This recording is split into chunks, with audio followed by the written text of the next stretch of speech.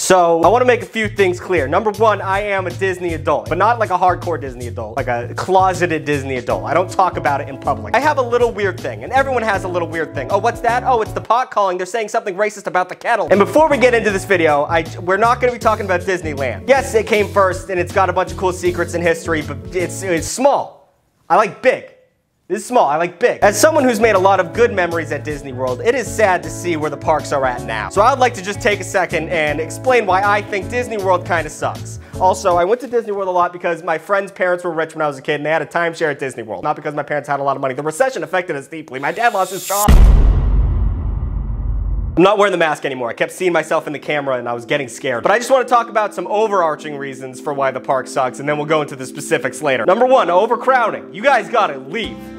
Too many people. We gotta, you guys gotta go. It's just a mix of like a post-COVID boom of people trying to leave their houses as well as brand new attractions and, you know, the mouse doesn't care. He doesn't care at all. He's just trying to get all the money. He doesn't care if the lines are all three hours long. He doesn't give a hoot. And overcrowding leads to, yes, long lines, but it also leads to me feeling absolutely not safe because this is America and large crowds of people attracts the crazies. I mean, it's already doing that. I mean, it's not good. I mean, the parks can't handle that many people. Last year at Hollywood Studios, or MGM, which is a way better name for it, the average wait time for lines was 75 minutes, and there's only like nine real rides there, so if you wanted to ride every ride at MGM Studios or Hollywood Studios, wherever the you would have to spend 11 hours in line. And you, the park's only open for 12 hours. It's not working, Disney. It's not working, Mouse. And you might be thinking, oh, well, I'll just get a fast pass. You're a joke.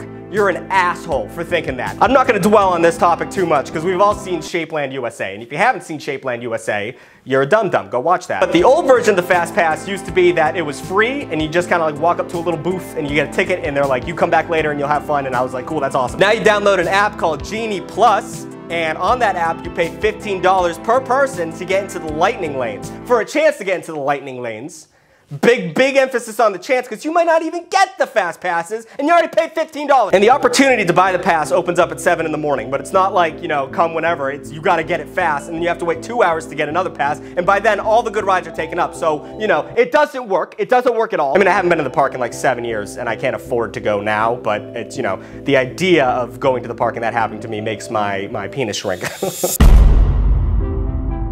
So Disney World has like five parks, and it used to cost the same amount to go to each park, but now they have like dynamic pricing, so each park has a different price each day. It changes daily. So it could cost way more to go to Magic Kingdom than it could cost to go to Epcot, and I kind of get that because Epcot's doing its thing, which is nothing, but still, that's not fair. But Disney also changes it up in terms of like how many people are expected to show up that day. So you gotta pick a day that's like a national tragedy or something, so that you have less people showing up, and then you're just sad. You're wearing Mickey ears and thinking about 9-11. And this is all without talking about like the merchandise merchandising and the extra fees and all that bullshit, but we'll talk about that later. Working at Disney seems like hell. A lot of like college interns sign up for this, but it, I, it seems like hell. There's so many weird little rules you have to follow if you're walking around being a cast member, aka unpaid employee. A man can have a mustache or a beard, but the beard has to be exactly one inch long. It can't be shorter or longer. Stubble doesn't work. No piercings, no tattoos, no unnatural hair color. So if you got like rainbow hair, you gotta, you know, wash that out before you sign up. Who knew working at Disney World would have Jewish cemetery rules? But the worst part about all of it is that you can't break the magic, which means you have to be a happy-go-lucky nerd the entire time, unless you work at Tower of Terror, which I've heard they all love working there because you get to frown the whole time. But besides that, you have to be unnaturally happy, even if the worst shit is happening to you. Welcome to the parks, everybody. Let's see how long it takes for someone to call me a slur. Oh, little buddy, looks like you spilled something. Oh no, that's piss? You're currently pissing on me. Okay, well, I'm gonna be standing in the sun for 14 hours, so, you know, I could use a little sprinkle. Uh, ma'am, you have to smoke cigarettes in the designated smoking area. Go fuck myself? Sounds like a pleasure. Where's Space Mountain? Well, it's just right ahead. It's the giant fucking mountain. Yes, sir, The Little Mermaid should be white. I can't legally disagree with you. Lucky for you, Disney hasn't changed a goddamn thing about the park, so all the Little Mermaids here are white as snow. You want the movie changed too? Well, boy howdy, as an unpaid intern, how about I just text the CEO and, you know, try and get time travel involved? Oh my gosh, you're here on Make-A-Wish? Can you, are, is it contagious? Can you cough on me? Well, the hours are long and I'm not getting paid, but at least this is good experience on my resume, working in a theme park. I've been scammed. I've already said that other people at the park is the worst part about the park, but the, there's specific people that show up that ruin the experience. I mean, first off, you got the over-preparers who uh, turn a vacation trip to the happiest place on earth to a miserable crawl. Listen, everyone goes to Disney World with a game plan, but that game plan always goes to shit whenever the mouse shoots the starter pistol and everyone rushes the gates. Sometimes your fast pass isn't gonna work. Sometimes you don't get to that special restaurant reservation where you pay $40 for a dumbass meal. Sometimes the toddler gets struck by a firework at the fireworks show. Things change, but you're just miserable to look at. I can tell you're ruining your family's vacation and the mouse is laughing at you. He's laughing up in his castle, so just relax. And then there's always the, the unkempt teen who's trying to be the cool guy and not enjoy Disney. It's fun. It's fun. This is fun. You don't have to go on It's a Small World. That ride sucks. Go on Space Mountain. That's fun. Rock and roll coaster? That thing rips. I understand that you want to make your parents as upset as possible by them spending a lot of money and you not being happy, but you know, enjoy yourself a little bit because it's embarrassing for me and you. And on that same vein, when I see children not having a fun time like normal kids, like they're having a little bit of fun, but then something goes wrong and they start crying, you are at Disney World, my guy. You're this is the best it's ever gonna get for you. And children have no concept of money, so I don't blame them. But like, you know, you just met Pluto.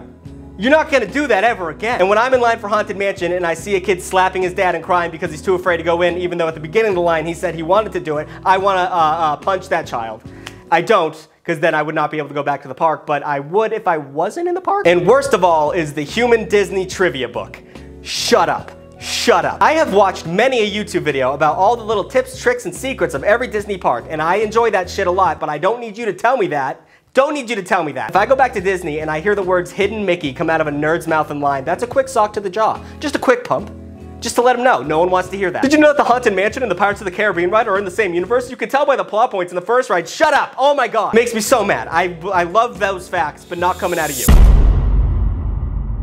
Come one, come all, it's time to play America's favorite game show, Guess That Obscene Price. We all know that Disney is expensive, that's like 50% of the brand, but what we don't know is how expensive it actually has gotten. Shit's gotten crazy. So let's go down the list and find out exactly how much you're getting screwed. A regular old bottle of Coke, how much would you spend on that? Probably a dollar in any vending machine. Joke's on you, that's $5. You're paying $5 for Coke, something that is cheaper than water. But don't worry, if you're looking for a souvenir, you can get one of these dog shit refillable cups that cost $22. So, you know, they drive a hard bargain. How about a beautiful plastic tiara for your beautiful little princess? How much is that gonna run you? 20, 30, 40, 50, $60, $89. $89 for a plastic tiara. And you're gonna have to buy it because she's gonna cry. And you don't wanna look like a bad parent. God forbid. I also found this sweater.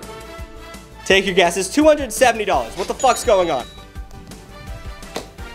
The fuck? So I'm gonna do some math now, and I'm not very good at that, so bear with me. So most people who go to Disney World have a kid with them, so we're gonna calculate in a child, let's call him the uh, scam boy. And I'm in Chicago, so a flight from Chicago to Orlando on average is $326, so let's multiply that by two. And we probably wanna stay there for about five nights, and we need a hotel. We're not gonna stay outside of Disney, because we will be crimed, so we're gonna go pick a moderate level hotel. We're not gonna stay at Pop Century, because we will be crimed. So let's say this one for $300 a night, so that's another $1,500. And I told you the park prices are weird and I had to average some shit out. For five day passes for me and a child, it's looking like a $1,000 for five days. And on average, to eat at Disney every day, it's gonna cost an adult $82 and a child 48 and that's five days. And it's such dog shit food usually, but that's averaging out to be, what, $650? Yeah, $650. So it averages out to be just under $3,500 for two people for five days.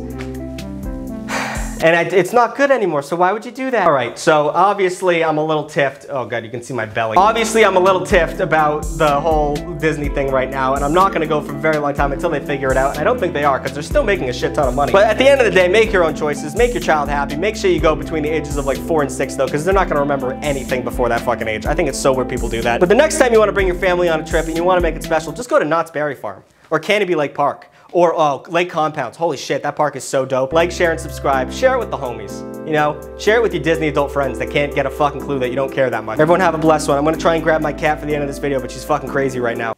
There we go. There we go.